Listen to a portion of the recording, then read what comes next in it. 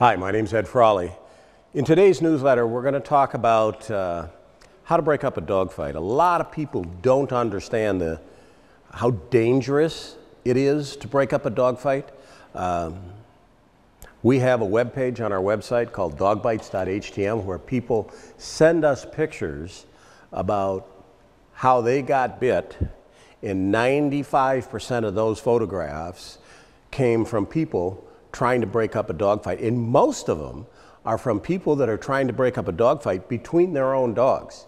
Now, there's a right and a wrong way to do this, a safe way and a non-safe way. The non-safe way, you have photographs if you go to this, uh, graphic photographs, if you go to this web page. The right way to break up a dogfight is with two people. I'm going to tell you how to do it with two people, and then I'm going to tell you how to do it if you're alone.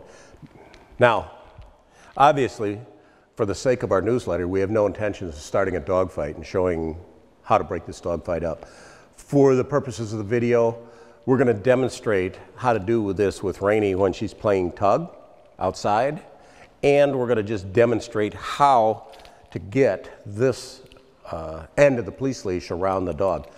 The right way to do it when there's two people is you have a big ball. It's loud, it's violent, uh, it's unnerving. So you need to stop, you need to pause, you need to gather yourself.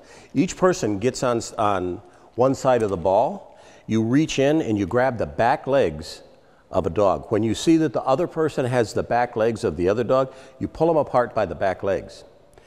Once the dogs are apart, you start to move them in a circle. The reason for moving them in a circle is that you want the dog to have to continue to go in a circle around you so that they can't turn and curl and bite you. In the initial split, when you pull them apart, it's like two people being in a fight and somebody reaches in. Just the adrenaline alone will cause a dog to turn and snap. They don't know it's you, they don't know what it is, they're in the heat of the moment, and they just turn and bite. So when you pull them apart, you need to get them out of that mode and thinking about something else other than the dogfight. And by moving them in a circle, it takes a split second, but they come out of that mental mode.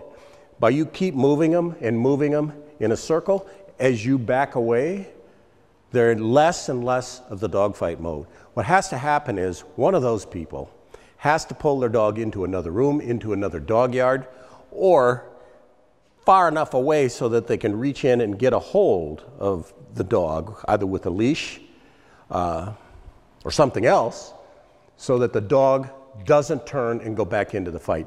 If you release a dog too quick, he's going to turn and go straight back into the fight. So it's your job to figure out your circumstances uh, to what you're going to do before you release the dog.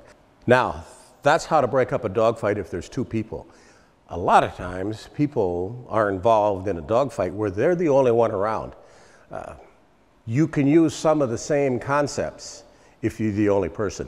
We sell these, uh, these leashes with all these buckles and snaps on them. They're a police leash, but quite frankly, we sell a lot of them to people who have to break up a dogfight when they're the only person there.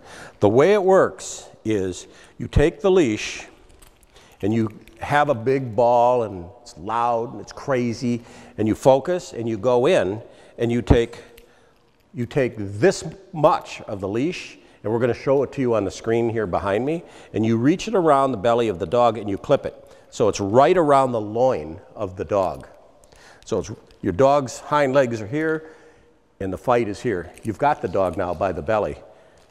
You take, you take the pile, and that's what I call the dog fight.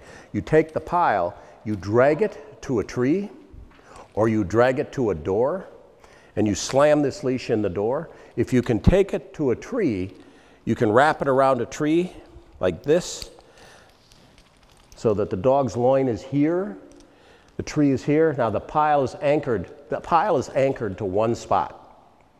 If you're in the house and you have the pile, you take this leash and you put it through a door and you slam the door on it. So now the pile is anchored. Then you go around to the other side and you grab that dog by the back legs and you pull them apart. And you grab that dog and you pull them into an, by the back legs. And when you pull them apart, you spin them and you pull them quickly into another room because the dog that's tied to here is going to want to continue this fight. So that's how you do it, either with two people or with one person. So the dogs were, you know, simulating a dog fight here. Jeff's going to come in and get Rainy by the back legs. Good girl. Good girl.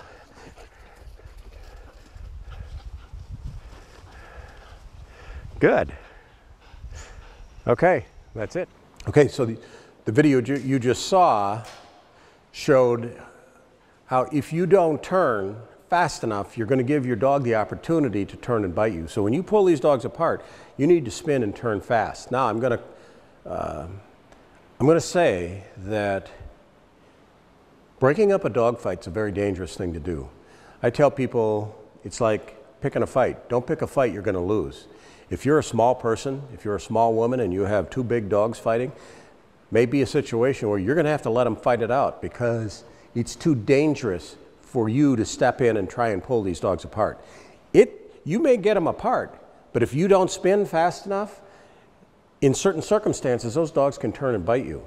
So you need to be careful. You need to think twice before you jump in and try and break up a dog fight. Like I said, go to the website that we have on uh, uh, Leerburg.com forward slash dogbites.htm. You're going to see a whole lot of pictures of people who did this wrong. So think long and hard before you go and do it. For those people that have dogs that uh, are inclined to fight, I've produced a video on how to establish pack structure with your dog. Uh, and, I've, and I've produced another video on dealing with dominant and aggressive dogs. If you have a problem with your dogs fighting, I would recommend both of those videos. Um, once dogs have fought, once dogs have started the fight, they're always going to fight. So don't kid yourself in thinking that you're going to train this out of your dog. So if you have any more questions, go to our website. We've got good articles on this, good videos on it.